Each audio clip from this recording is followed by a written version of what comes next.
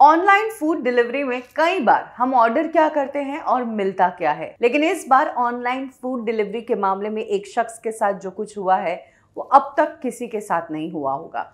इस शख्स ने ऑनलाइन डिलीवरी चेन से खाने के लिए ऑर्डर किए थे चिकन विंग्स साथ में फ्राइज और कोल्ड ड्रिंक इस शख्स का जब पार्सल इसके पास आया और इसने अपना पार्सल खोल कर देखा तो चिकन फ्राइज के नाम पर निकली चबाई हुई हड्डियाँ। फ्राइज़ का खाली डब्बा और ड्रिंक ऐसे की ऐसे थी और पूरे पार्सल के साथ इस शख्स को एक लेटर मिला।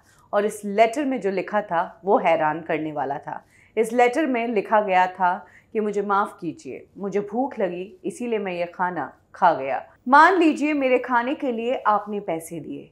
मैं टूट चुका हूँ, मैं ये जॉब छोड़ रहा हूँ। आपका डोर डैश गाय कुछ इस तरीके से ये चिट्ठी मिली।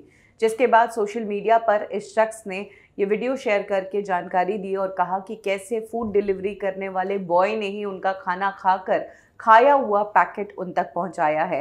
अब ये शख्स हैरान है कि आखिर जिस आदमी ने खाना खाया है, उसके खिलाफ क्या एक्शन ले और क्या कदम उठाए? सोशल मीडिया पर इस शख्स ने अपनी ये वीडियो डाली है और इस वीडियो के ज़रिए इसने लोगों से ही ओपिनियन मांगा है कि आखिर जब खाना देने के नाम पर इस तरह की धोखाधड़ी उनके साथ हुई है तो उन्हें क्या एक्शन लेना चाहिए? आप बताइए कि अगर आपके साथ ऐसा होता तो आप क्या एक्शन लेते? क्या जिस भूखे इंसान ने खाना खाया है, उसे छोड़ देते?